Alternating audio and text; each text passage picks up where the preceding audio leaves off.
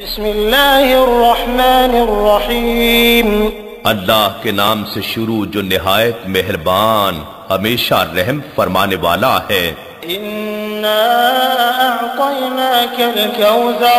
بے شک ہم نے آپ کو ہر خیر و فضیلت میں بے انتہا کثرت بخشی ہے۔